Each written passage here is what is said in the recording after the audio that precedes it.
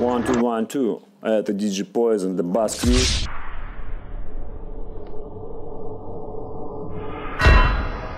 Это специальное интервью для канала Speak to Bash или для блога. Мофак, какая разница, смотрим.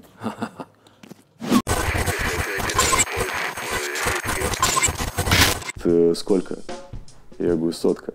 Как вот человек задрот. То есть вот когда попадаешь в Дабас, ну, когда я попал в Дабас, там уже все локации открылись. Вот реально, туннель. Вот так вот делал? Ну, вот так. Мы продажные люди. То есть я не говорю, что это именно сексуальный процесс. Я продавал эскорт. Я вообще никогда в своей жизни ничего не употреблял, не выпивал.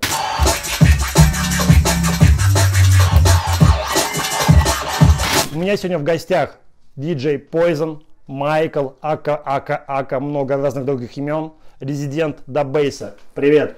Привет, Мэн. Как сам? Как универсам. Да? А что вы сами последний раз покупал? Покупал э, сок Угу. ребенку. Вопрос такой. Слушай, если тебе предложили бы вернуться в детство, ты бы вернулся? Так я сейчас в детстве. Ну, нет, вообще там в 5 лет, в 6 лет. Ну, в, ту, в то детство, которое Да, я в то, был, которое было, да. конечно. В какой возраст? Слушай, ну до 18 лет это, в принципе, один и тот же возраст. Он независимый, вообще беззаботный, поэтому в любой. То есть от, от можно сказать, наверное, 10 до, до 18. Ты бы что-то поменял? Нет. Все так бы осталось. Ну, развитие, оно же дает опыт. Любой опыт это классно. Какой опыт ты получил до 15 лет? Родительская забота. Мгм. Хорошо. А вообще детство как твое прошло? У тебя были творческие наклонности? Вот эм, я с 13 лет начал тусить по ночным клубам. С 13. Соответственно, я увидел, э, кто такие диджеи, что они делают, мне стало это интересно. И я подошел к родителям и говорю, я хочу покупать винил. И они мне начали давать э, бюджет на пластинки, и, соответственно, я начал в этом моменте развиваться уже с 13 лет. Это какой год был? Конец 95-96 год, начало, февраль. Это был первый, я даже помню первую вечеринку «Планета Джангл», которая проходила в гостинице Санкт-Петербург. А, Там выступал Грув, Дэн, Джанго и еще не заявленный тогда на то время Бумер. И тебе было 13 лет, ты пришел на пати. Да, с моими э, друзьями, которые были старше меня на 4 на 5 лет. Соответственно, они меня взяли на вечеринку, и об этом не знал мой отец, э, но э, моя мать, э, которая, я считаю, подругой, и отца считаю другом, которая меня отпустила, доверившись моим друзьям, ну, то есть на тот момент. Ты тогда выпивал, бухал? Я вообще никогда в своей жизни ничего не употреблял, не выпивал. То есть благодаря вот именно родительской свободе, которая ну, не, вставляла не вставляла мне палки в колес, соответственно, я сам выбирал, в какую сторону мне двигаться. То есть ты никогда в жизни не пил алкоголь? Ни алкоголь, ни наркотики, ничего никогда в жизни. А, хотелось? Нет. При мне э, я видел, как употребляли наркотики, и м, в какой-то момент мне предложили м, э, попробовать. Извините, мальчики, а послушайте мне ладненько, да, потому что я говорю, может спасти ваши жизни. М, Понятненько, да?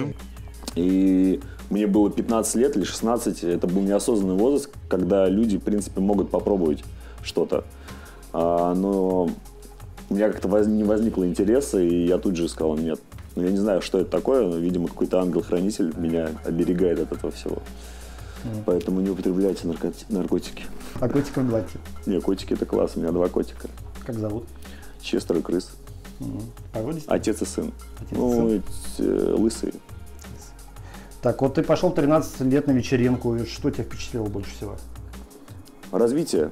Ну, то есть э, на тот момент, 96 год, это, то есть развивался рейв культура, развивалась рейв-культура. То есть драм только появлялся, то есть джангл, драм н это дресня вся, этого не было вообще, то есть это новое. И как раз вот мы попали в это развитие и были свидетелями э, всей этой культуры. То есть сейчас э, совершенно другое время. То есть, опять же, ты говоришь, что-то поменял, не поменял бы, потому что я был в том времени, попал в это время. Сейчас совершенно другая история. То есть тогда мы это э, присутствовали именно в развитии. Сейчас стиль настолько развился, что он уже как отдельный. Ну, то есть драм н это уже как, ну, устоявшийся стиль. Ты же знаешь, как дабстеп появился, что-то пропал, а драм н он как бы вот. Есть как техно, как хаос. Соответственно, попали в развитие, и я кайфанул от, от того времени. А следующая вечеринка твоя была какая? Ой, тогда уже все, это уже пошло на поток. То есть, соответственно, уже открылся через какое-то время клуб «Мама». Вот, до этого мы ездили, я начал покупать винил, меня начали приглашать ребята из э, такого городка Сиверский, Гатчина. Вот, и мы там начали э, поигрывать то есть на день города, потом какие-то были э, дачные варианты в коттеджах, то есть там это мастерство, э, как, как сказать, э, учились сводить пластинки, и, соответственно, когда уже уровень повысился, начали выходить на, питерскую, на питерский уровень. Вот. В моей жизни повстречался такой человек, как Чадин Сергей, который предложил мне записать кассету на КДК Рекордс. Я, ну, еще был такой, типа, сырой человек, думаю, ну, конечно, давай попробуем. То есть, представь, в то время, да, mm-hmm. мне предлагают выпустить кассету. Я, Сколько тебе лет было? 2000 год. Мне было 19, наверное. Как начался твой вообще путь в драм бейс? Ну вот, в принципе, так и начался, когда я начал покупать винил с 96 -го года. Вот, подкопив материал, а, у меня появился кореш а, с просвещения, и он как-то а, предложил мне поехать э, в Сиверскую. Сиверская Гатчина, у меня там была тоже тусовка, которая начинала играть э, ломаные ритмы, Джан Гале. Вот, и там периодически были вечеринки в коттеджах, э, День города и, ну, и так далее. И я там принимал непосредственное участие.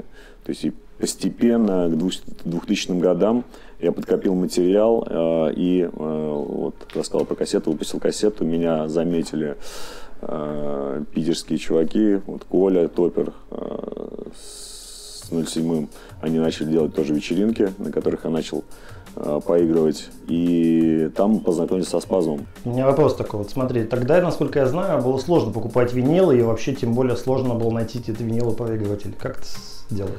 А, ну, в самом начале там с рук покупали. То есть э, мы тусовались на Дворцовая площадь. То есть на Дворцовой площади все тусовались, ну просто ага. из головы вылетело. Вот, все тусовались на этих окнах э, на, на промежутке. И там знакомились рейверы, рэперы. Э, и, то есть в свое время там даже кислой приносил там пластинки. То есть и как-то с кем-то мы закарифанились, э, и я там первое время покупал с рук винил. Потом э, э, был такой магазин «Пластмасса», в дальнейшем э, база, ну, как-то... Сколько тогда винил стоил? Ну, рублей 200, 300, 400 в таких же параметрах, не знаю. А где учился повыгрывать или где брал? Слушай, на начальном этапе э, вот у меня чувачок, который умел паять, мы спаяли, ну не, не мы спаяли, он спаял веги с печом. И вот у него дома начинали творить чудеса. А потом э, я познакомился с такими чуваками, как Blaze Faces, они такие скретчеры. Вот, начал у них зависать. И там, по сути, увидел первый момент скретча, который мне понравился. Вот, и у них начал записывать миксы. Потом э, был такой персонаж DJ Dark, у него дома тоже писали миксы. Ну, то есть, э, где были пласти... ну, вертушки, там мы как бы залипали. Потом был такой магазин Мека у DJ Бумера, мы еще тогда с ним не были знакомы. И к нему залетали, тоже скречили, он там приходил, ругался. Ну, то есть, мы как шпана, короче, везде. Ну, насколько я знаю, ты хорошо скретчишь. А вот в чем успех хорошего скретча? Слушай, ну как, на уровне западном я не считаю, что я хорошо скретч. Вот. Скретч это, ну, типа, как, знаешь, э, как вот человек-задрот, который сидит, что-то учит, во что-то там втупляет. То же самое, надо просто стоять э, у вертушек и постоянно оттач, оттачивать какое-то одно движение, потом второе, третье, и, соответственно, это... Сколько движений ты отточил? Слушай, ну на первый момент я там по 3-4 по часа стоял, вот это все привыкало, чтобы рука... Вот так вот делал? Ну, вот так. Это это чисто дрочилово, правда. Ну, просто стоишь, и чтобы рука именно привыкла к ви- к винилу. Потому что а, если ты попросишь любого человека подойти и положить руку на винил, он просто ее положит как кирпич. То есть, соответственно, чтобы рука привыкла и у вас появилась легкость с пластинкой. То есть сочетание руки и пластинки, э, связь, ну, как между тобой и женщиной, понимаешь? Интересно, очень продолжай. Во сколько лет ты понял, что хочешь стать диджеем? Ну вот когда попал на первую вечеринку Планеты Джангл, а, увидел, ну до этого у меня вообще не было картинки диджея. То есть я пришел на вечеринку, увидел, кто такой диджей. То есть как они работают, э, насколько они крутые в глазах публики. То есть в тот момент у меня уже заразил, зар- зародилась, зародилась идея пойти по этой э, дороге. То есть ты хотел быть э, крутым в- на публике? Нет, я не то, что хотел крутым, не крутым, я просто хотел попробовать это. То есть э, сейчас вот, чтобы стать диджеем, это типа мода, да. Тогда мне просто понравился процесс, как это все происходит. Вот люди, то есть берут один трек, второй трек, как-то это делают, сводят, и я же не понимал, что это такое. То есть первая, первая моя сводка была вообще, ну, тупо э, я ставил э, пластинку, играла вторая, я запускал ни в квадрат, ничего там середины крутил, пока они не совпадали. То есть я не понимал вообще процесса. И вот когда я начал в этом разбираться, э, ну, это и был интерес. Когда ты стал диджеем, больше девочек у тебя стало в окружении? Что ну, я всегда был, э, старался быть в окружении одной девочки. Ну, То есть у меня не было таких периодов, чтобы я там, типа, таскался. То есть у меня всегда была одна девочка, то есть когда у нас отношения заканчивались, э, через какой-то короткий промежуток времени у меня появлялась вторая. То есть я такой Все чи- были с- чистоплотный кот. То есть они все были с тусовки или где-то со стороны? Где-то в клубе знакомился, где-то, ну, то есть в каких-то других локациях. То есть, ну, девочки всегда как бы были, ну, как подружки. То есть я, я могу дружить с девочками, правда. Да. То есть не подходили к тебе после сета и сказали, можно я тебя? Подходили, конечно. Мне даже видео присылали с голыми э, гениталиями, да. Осталось? Показать? Ну, покажешь. Покажу, но не на камеру, потому что не хочется. Ну давай тайком, давай, давай тайком посмотрим здесь. Я покажу потом видос. Давай поговорим о бумере. 2002 год или 2001 мы с ним А, в познакомились. 2001, в 2001 году ты познакомился с бумером. И он тебе сразу сказал, давай в Дабейс. Нет, смотри, как было. То есть я играл, э, по-моему, в «Спартаке», и э, ко мне подошел спазм, мы не были знакомы, он говорит, ну, типа, вот, ты там, типа, играешь драм н бейс, круто, давай там, типа, вместе играть. То есть на тот момент он, по-моему, поссорился с э, диджей Стивом, у них была базука крю. Вот, и мы с ним нашли общий язык и придумали кимоно крю. Соответственно, э, у меня уже на тот момент э, третья или четвертая кассета вышла, и он эту кассету дал Феде Бумеру. Подожди, в 2001 году ты знакомишься со спазмом, ну, Кимоно Крю с 90, ой, с 2000 уже года появилось, раньше. Ну, я с Федей познакомился в 2001 году. А Кимоно Крю Кимоно было, Крю по, по было 2000 в 2000 Да. То есть я просто познакомился, ну, предыстория, как я пришел, А. понимаешь. Продолжай. Я познакомился со спазмом, э, вот, э, и, соответственно, э, мы начали с ним играть, создали Кимоно Крю. Э, Он взял мою кассету, передал Феде Бумеру в 2001 году.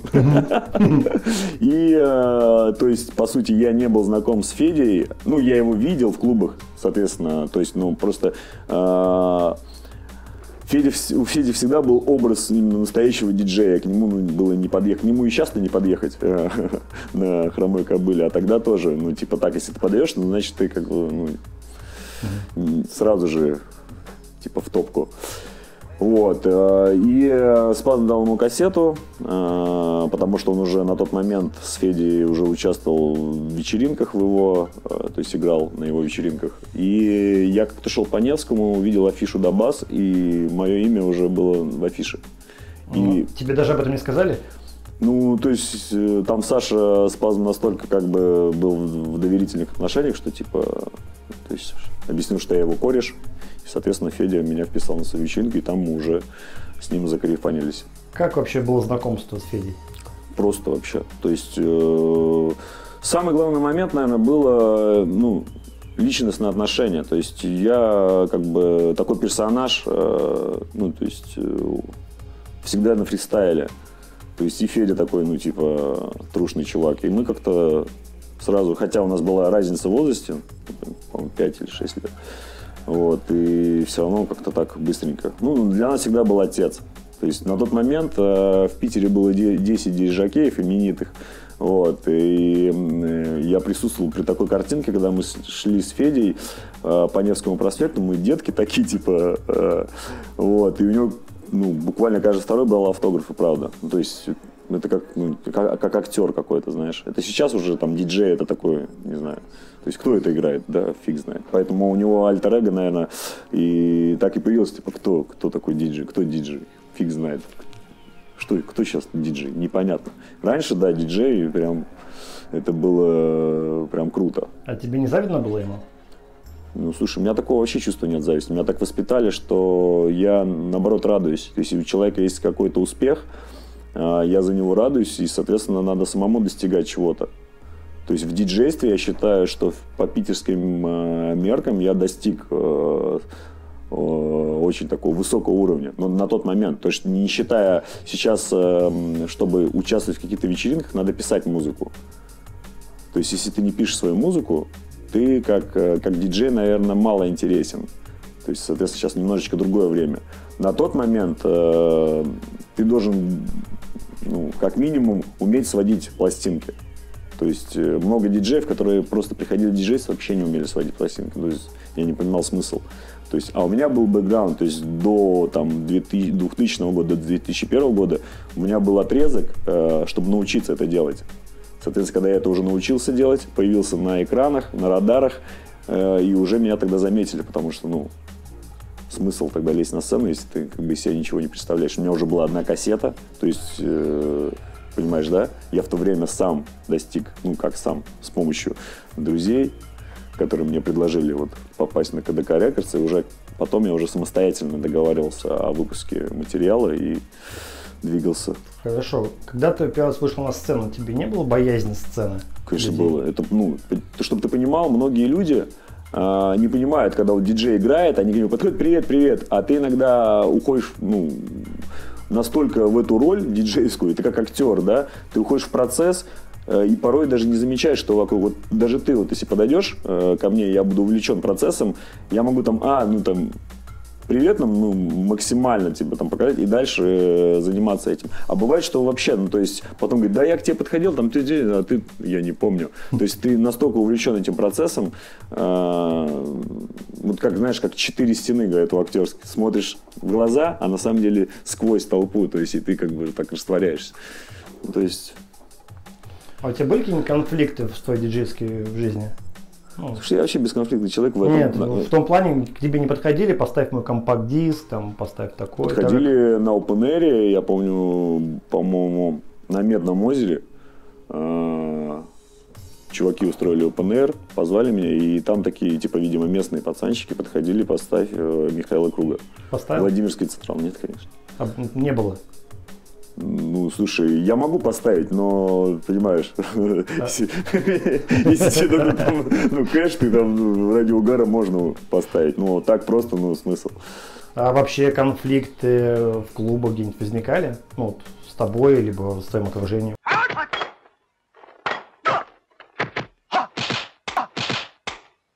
Слушай, ну по, не конфликты, а вот по поводу треков, да, там типа поставь мой компакт-диск ну, или... В том числе тоже. Ну вот я играл как-то в одном заведении, не буду говорить, а, но там есть рамки. То есть э, ко мне подходит чувак, кладет 15 тысяч, говорит, «Э, поставь отпетых мошенников. А, он говорит, «Э, сколько? Я говорю, сотка. Он достает сотку, я говорю, чувак, я пошутил. То есть, ну, настолько как бы человек вообще не запаривался. Вот, и потом мы с ним разговорились. Я говорю, вообще, чем ты занимаешься? Он говорит, вертолеты продаю. Это вертолет. Продал вертолет и решил послушать Можно поставить от этих мошенников один трек за сотку, понимаешь? И я не считаю, что это конфликт, но это как бы... А сейчас бы поставил за сотку? У меня был разговор с организатором, говорит, слушай, в следующий раз, когда у тебя такое предложение будет поступать, бери двушку, сотку вноси в кассу, сотка твоя. То есть В следующий раз я поставлю. А так вообще тебя можно купить? Конечно. Мы диджей, я, не называю, я диджеев называю именно шлюхи. Ну, то есть мы продажные люди. То есть э, в какой-то момент я играл только драм н бейс. Э, когда у меня родился ребенок, я понял, что мне надо как-то э, где-то чего-то. Вот, кстати, ребенок. Что? Зайди сюда. Аккуратнее, аккуратнее, не переверни ничего. Чтобы она не поехала. Вот, кстати, ради Ну? чего я начал играть разную музыку. Ну, представьте своего молодого человека. Да, Федор, в честь Феди Бумера. Да? То есть это будущая звезда. Да, Такое. преемник.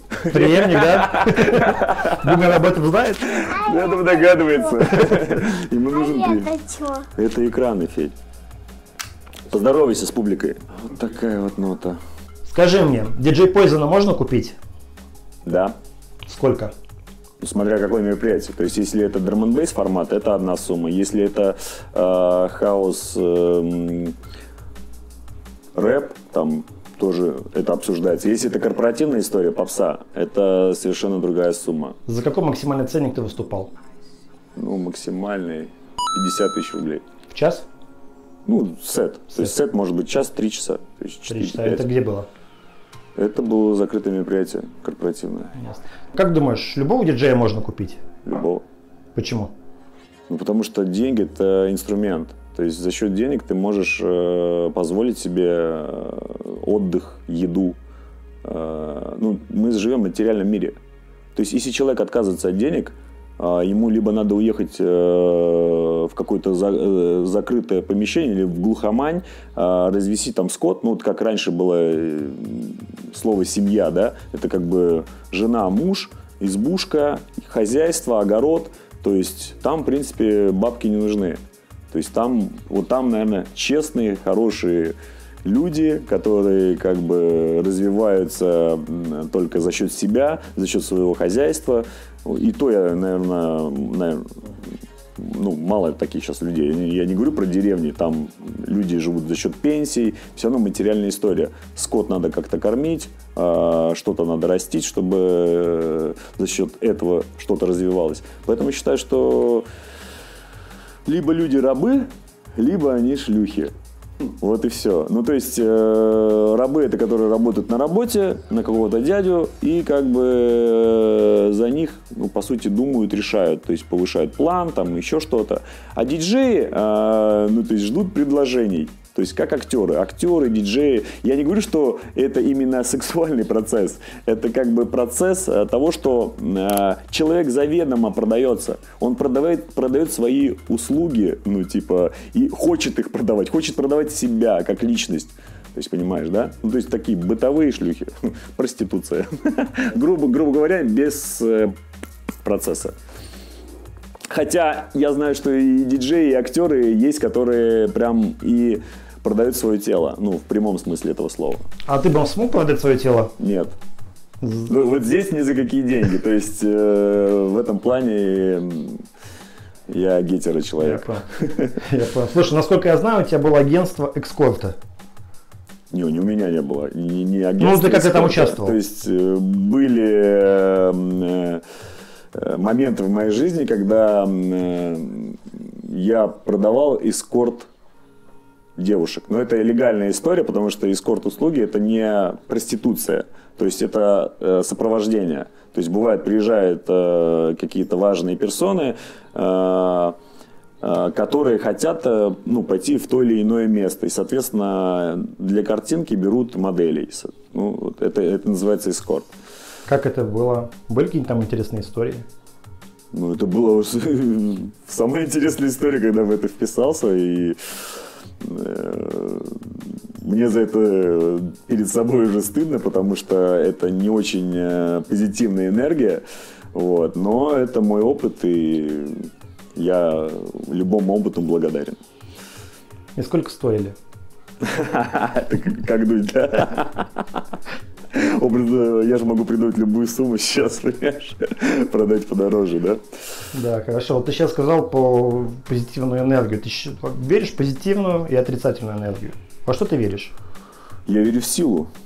Союзник мой, моя сила. Могучий союзник это. То есть, э, ну, типа, Бог, он, типа, для кого-то это, ну, там, существо. А я верю, что это сила, которая управляет этим миром. То есть, сила в нас, в тебе, ну, то есть, э, в каждом человеке, в каждом живом существе. Э, И, соответственно, если ты во что-то очень сильно веришь, э, прям очень сильно, это приходит в твою жизнь. То есть, если ты там, например, говоришь, ой, очень все херово, будет очень еще в три раза херовей. Если ты начинаешь продумывать каждый момент в своей жизни, ну, например, я вот хочу вот, вот такой позитивный момент. И прям в это надо поверить. И вот сила, энергия, она все сделает. Я просто ну, в этом уверен, у меня так как будто ребенок появился. Я очень сильно его захотел в 32 года, в 33 у меня вот ни с чего все вот как так произошло. Принесли? Аист принес. Спасибо маме Жене. Как человеку обрести вот эту энергию? Как в это начать верить? А это опять, это же жизнь. То есть у тебя есть этапы. Вот, например, э, сейчас я не матерюсь. Я к этому пришел, опять же, наверное, осознанно как-то думал об этом, размышлял, и меня судьба свела с людьми, которые, опять же, передали мне эту энергию, и, э, соответственно, э, дали мне какой-то новый виток. То есть, может, через 2-3 года я к чему-то еще приду. То есть, это э, этапы, ступени. Если человек не развивается, то он стоит на каком-то уровне. Представь, мы с тобой с детства дружим, да? Мы там дурачимся, угораем, смеемся. То есть, ты там растешь, и там в 30 лет ты, например, чего-то уже в голове достиг, каких-то там результатов, э, знаний, а я также дурачусь, то ну, для тебя я останусь дурачком, правильно? По сути. То есть, если я никак не развился, так же все вот, а здорово, братан, да. Ты так подумаешь, ну, чувак, ну, это можно как поугарать, но все равно ты э, Ну, не постоянно. смотришь на людей вокруг себя, да, и, соответственно, кто-то откалывается, кто-то идет дальше с тобой по жизни, и если человек развивается, ты развиваешься с ним. То есть, если человек деградирует, ты, соответственно, выбираешь человека, который идет вверх. Кто-то выбирает человека, который идет вниз, и, соответственно, с ним падает. Мне как бы интереснее идти с людьми, которые тянут меня наверх. Поэтому это и есть энергия, и я вот выбираю такой путь. Хороший путь. Давай немножко окунемся в историю. А Расскажи по клуб «Мама». Клуб «Мама» — это 98 год, да? И понимаю? далее, да. Вот. Ну и с открытия туда залетели, потому что это было что-то такое прорывное, был туннель, планетарий, э, ну это как-то такое взросликовое. А здесь открылся прям драм н клуб. То есть э, я, когда услышал этот стиль, я прям вообще взорвался, думаю, ничего себе, вот это... Перебью тебя немножко. Ты можешь забитбоксить идеальный бит драмбейса для тебя? Забитбоксить? Да. Попробуй.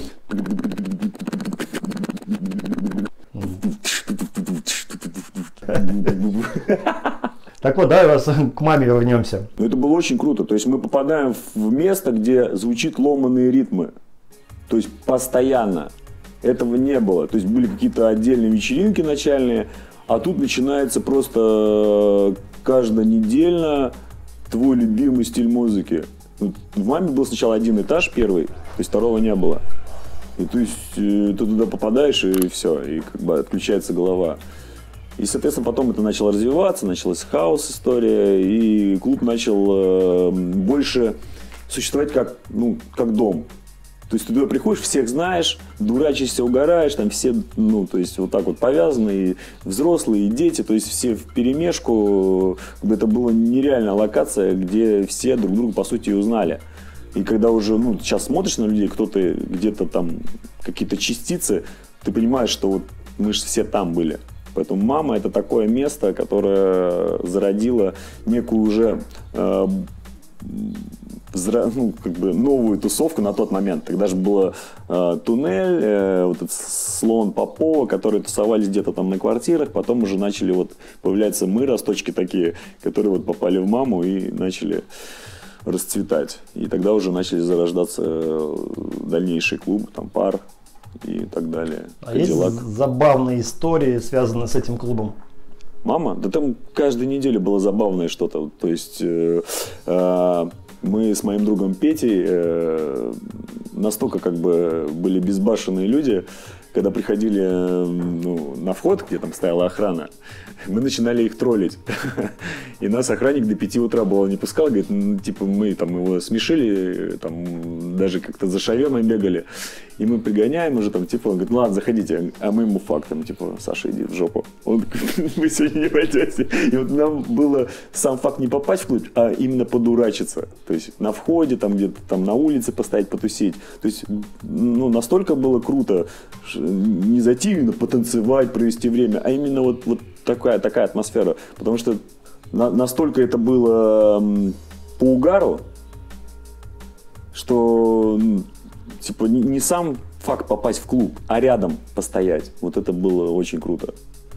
Ну, то есть, соответственно, мы и там постоянно тусили. То есть, один, один, был один тоже смешной случай, а, когда мы дурачились, э, толкали друг друга и толкаем э, моего кореша, опять же, Петю, и он своей жопой дырявит, короче, стену, и, короче, в стене была форма жопы. Потом они, как бы, с чуваком э, приезжали на неделю заделывали. Короче, ну, просто заделали так, что э, там был такой квадрат, ну, тупо на стене закрученный, и, получается, типа, закрыли жопу. Когда ты первый сыграл в маме? Ну, вот когда начал уже поигрывать с Федей, по-моему, вот буквально, наверное, с 2001 года, я уже не помню, так честно, вот в тех, в тех временах. А в тоннеле? в тоннеле тоже те же времена. То есть вот когда попадаешь в Дабас, ну, когда я попал в Дабас, там уже все локации открылись. Вот реально. Туннель, мама, пар. В пар я вообще попал э, по своей инициативе. Э, то есть я тогда фанател от бразильского драм бейса Вот. И пришел к Мишу, к Мише Стронгу в пары, а там чисто хаос. Только хаос, э, такие джа- джаз, такая лайтовая история. Я говорю, слушай, давай э, поиграем у тебя в клубе драм Он говорит, не, не, ты чего, драм бейс это же ну, совсем не та история. Я говорю, на, послушай кассету, у меня вышла кассета тогда Бразилия. Вот, он послушал кассету и говорит, ну это же как бы крутой драм бейс Я говорю, да. То есть драм бейс он разнообразный уже. Вот, и мы начали делать вечеринки в пары СПБ тоже. Тоже легендарное место было. Но Да. все-таки более интересно про клуб Тоннель поговорить. Как он тебе? Что? Какие воспоминания от него остались? И что вообще об нем думаешь? Первый туннель это прям, ну, вообще там чиллаут, это вся эта история, андеграунд полный, то есть Попова, Слон, Хас, вся эта вот именно Анжела Сульженко, это прям вот, вот они, там Федя Бумер, вот. И когда это все закрылось, э, открылось э, возрождение туннеля, и на первых порах он был как бы по сути обновленный, там, о, круто, да, там, ничего себе его переделали. А потом он начал постепенно э, для меня умирать, потому что начали уходить динозавры вышеперечисленные. И началась приходить новая тусовка. И как-то э, как-то это все начало так без уважения. Раньше диджеи как-то ну, с уважением друг к другу были, а тут начались вот какие-то там, опять же, терки, батлы. И постепенно я оттуда ушел, потому что ну, не очень как бы для меня. А так э, место э, для меня значимое и, по сути, од- одно из любимых. По поводу терок и всяких баттлов. У вас с Da Bass ом были терки с Тамарок, с Респектом, с Не? Федь- не, в этом плане Федя вообще бесконфликтный человек. Если что-то там начиналось, Федя наоборот тормозил. Говорит, ребята, ну как бы, come on, не надо. Он никогда не выносит ссоры из избы. Ну, то есть это такой человек, ну, очень начитанный, очень такой, как шахматист, продумывает все шаги на несколько шагов вперед. А, То есть, соответственно, мы-то детки, нам хочется подурачиться, поугарать, а он нас наоборот так, типа, «Эй, ребята, тормозим, тут как бы свой сценарий. У нас были какие-то моменты, там были какие-то на тот момент форумы, и что-то там, по-моему, про меня что-то кто-то там написал. И мы пришли на какую-то вечеринку, и там, типа, «Эй, кто это написал? Там, такие, типа, давайте, короче. Написали на spbdnb.ru. Ну, наверное. Кто-то там про меня что-то плохо написал, и мы пришли на какую-то вечеринку и хотели там, типа, «Эй, ну, такие-то. Я просто на тот момент, э, по-моему, закончил уже на Нахимовское училище, было много мощи, то есть я мог втащить, соответственно, мог ответить за... Это диджей Бойза Мокфока! I love you.